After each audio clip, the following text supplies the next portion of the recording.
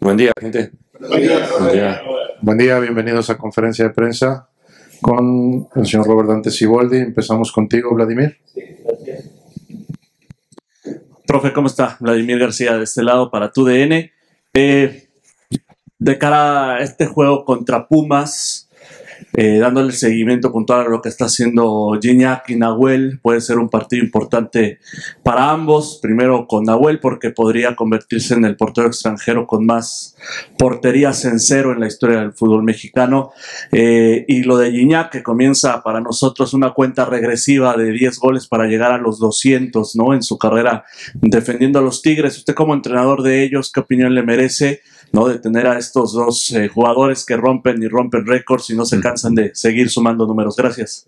No, pues es un orgullo, es un privilegio, como siempre digo, de poder estar en este momento con ellos y que tengan esa posibilidad. Sin duda que en el aspecto individual es muy importante, pero el tema principal es el tema del equipo. Eh, siempre hemos dicho y lo hemos hablado con ellos que que estamos convencidos que las individualidades van a brillar en base al juego del equipo. Entonces, cuando el equipo brilla, eh, por ende las individualidades salen a relucir y es lo más, es lo más importante. Entonces, qué bueno que haya ese tipo de motivaciones, de alicientes para ellos, para, para poder conseguir esos logros. Son, son, este, son extras que, que ayudan a la motivación y, al, y al, al poder enfrentar justamente un rival muy difícil, muy complicado como nos va a tocar el domingo, poder tener ese extra, ¿no?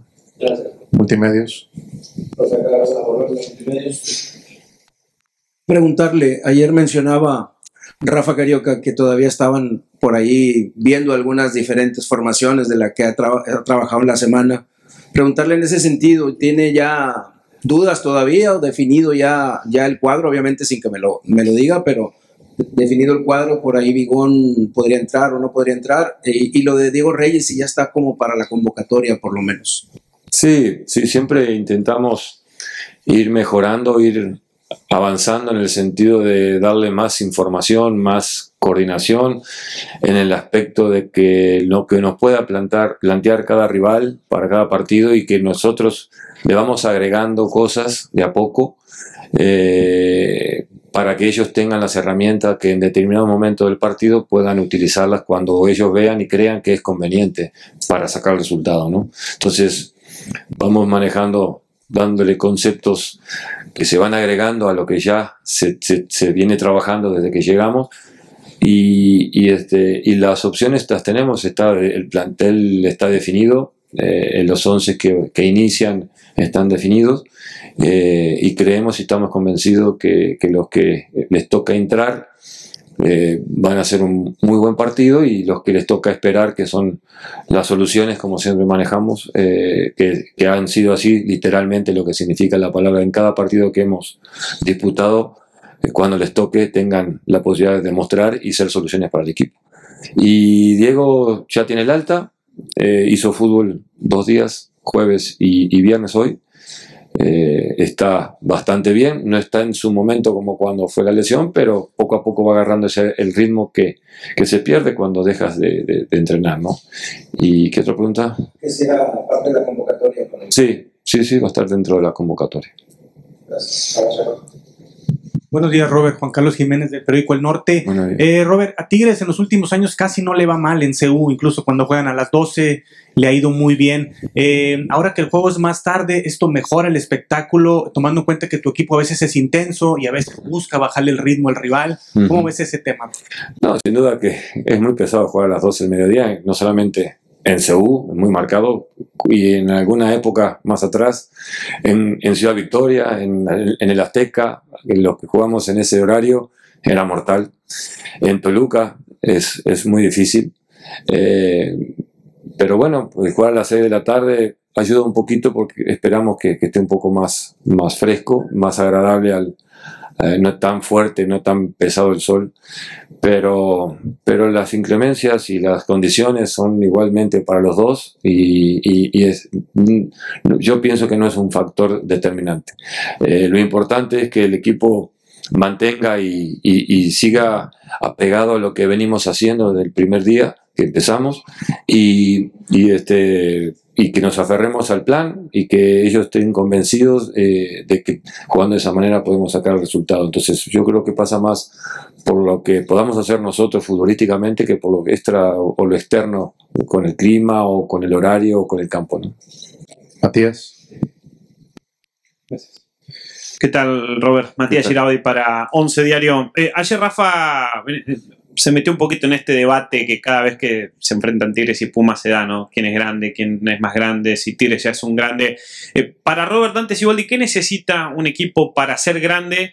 Y, si Tigres ya clasifica o califica para meterse en esa, en esa lista.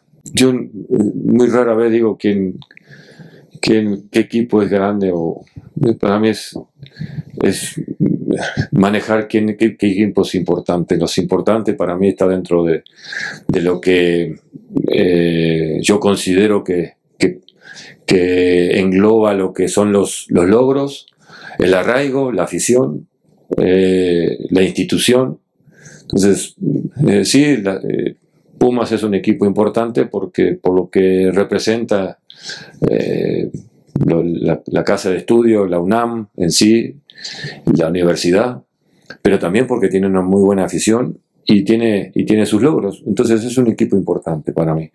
Igual que nosotros, nosotros tenemos un respaldo de la UNAM, tenemos el respaldo de CEMEX, de, la UNL, perdón, ¿no? Eh, me refería a la Autónoma de Nuevo León, eh, a CEMEX, a nuestra afición, que nos acompaña siempre cada, cada vez que jugamos de local, inclusive de visitante.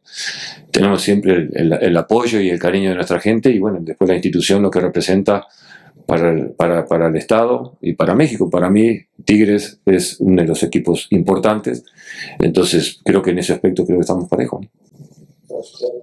Gracias, Alex. ¿Cómo estás, Robert? Sergio Treviño para, para Fox Sports.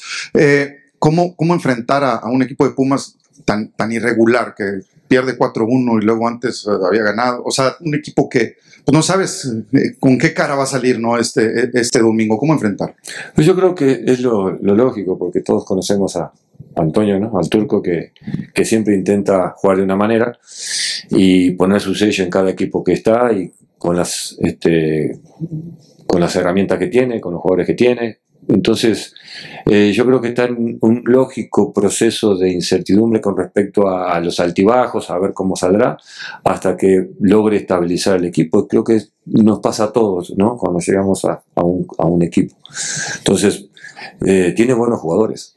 Ni, damos ya descontado la capacidad del turco y, de su cuerpo técnico, ¿no? Eh, tiene buenos jugadores. creo que está en ese momento de de estabilidad, de encontrar la estabilidad y la solidez defensiva para que los, los de arriba eh, tengan la contundencia que creo que les ha faltado. El, partido del otro día con Juárez, eh, respetando lo que hizo Juárez, que fue muy bueno, es un poco engañoso para mi forma de ver el fútbol, porque Pumas tuvo sus opciones. Eh, Juárez aprovechó las, las, oportunidades que tuvo, que en 30 minutos tuvo tres opciones y fueron los tres goles.